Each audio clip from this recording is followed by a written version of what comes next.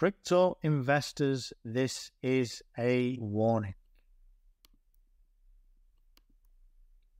So, my personal story I've been involved in two bull runs, and you know the story if you follow this channel before. Uh, the first bull run was 2017 18, second one was the 2021 bull run. I watched crypto YouTube for years, so this is what um, originally made me get into YouTube was watching people talk about crypto over and over again on YouTube and uh, various crypto YouTubers, you know them all, BitBoy, Carl Moon, and obviously smaller channels as well, which I've got into watching. But what I've found is a lot of them are all the same. So a lot of them have 50 links in their bio telling you to sign up to a million exchanges. Uh, you know, you'll get five grand bonus if you do this. You'll get two grand bonus if you do that. Sign up to this, sign up to that, and there's like 50 different links.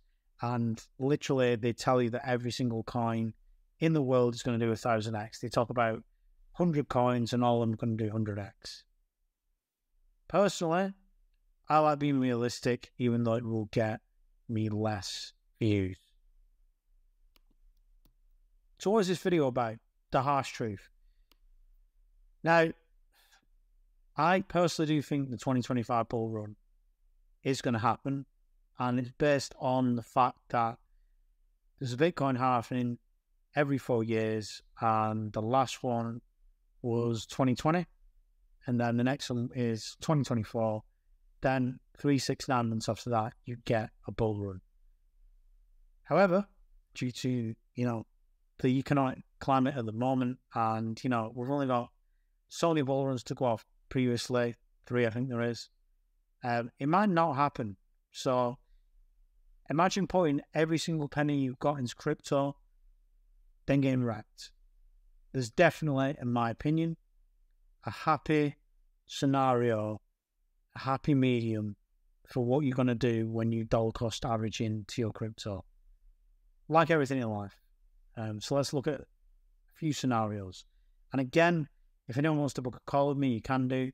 Clear link in the description. We can talk about anything you want to talk about within crypto, your portfolio, your DCA strategy, etc.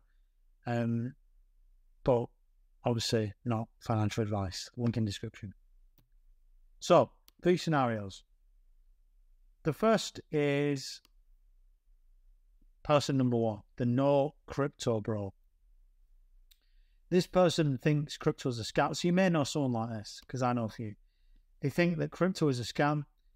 They go to the pub every weekend or local bar. They buy designer clothes, new trainers every week. Anytime that you will mention cryptocurrency to them, they'll laugh at it and call it a scam. They'll watch Netflix five hours a day. They'll tell you about the latest Netflix program, what they're watching, uh, the latest series, the outcome is, though, that if the bull run happens or the bull runs 2025, 2029, 2030, and so forth, they'll miss them.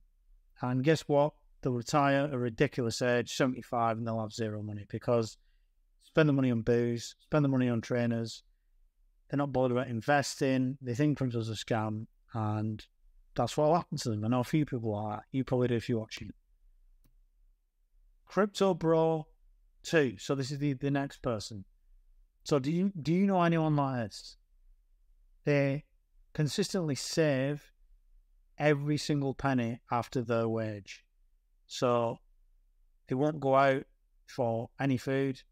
They've stopped buying the favorite coffee, Starbucks. There's so many uh, finance gurus on YouTube tell you to get rich, you've got to save your money and stop buying your coffee based on the trust me bro finance. So they'll say, stop buying your coffee, save it instead, you'll get rich. This person will never eat decent food because they put everything into crypto. So they'll get paid, eat pot noodle, stop buying the decent coffee.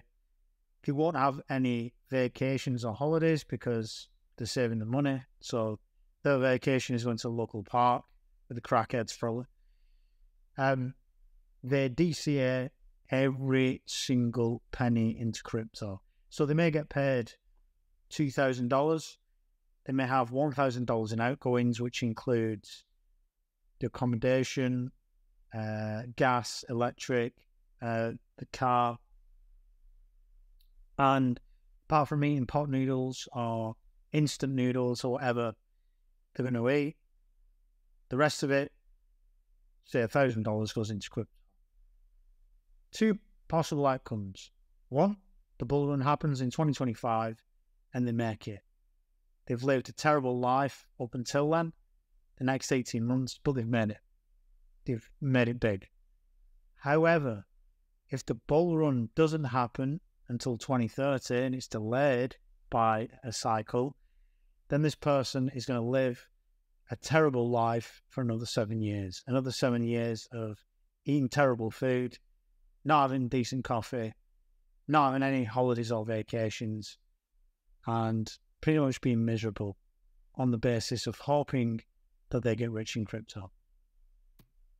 Or is this you, Crypto Bro 3, enjoys his favorite coffee every day, budgets well, still eats food he's like. I've just been out for some pizza.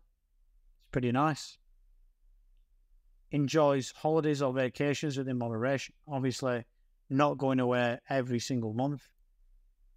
Budget a set amount into crypto to DCA every month, which he can afford to lose after doing all the above and enjoying life. So, for example, maybe this particular person again gets two grand a month, however, enjoys going out, eating food, having a decent coffee, not being ridiculous with it, but just enjoying life.